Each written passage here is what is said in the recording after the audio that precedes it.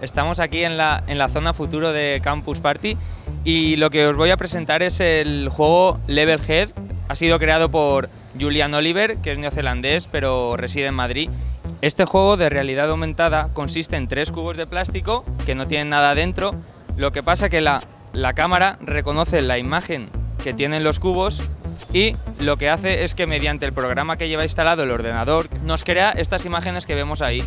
Y lo que tenemos que hacer es dirigir al personaje y llevarlo de habitación a habitación hasta que encontremos la salida, que nos lleve al segundo nivel, que es otra casa más difícil, con puertas ilógicas que nos pueden hacer volver al principio y el último nivel sería el cubo amarillo.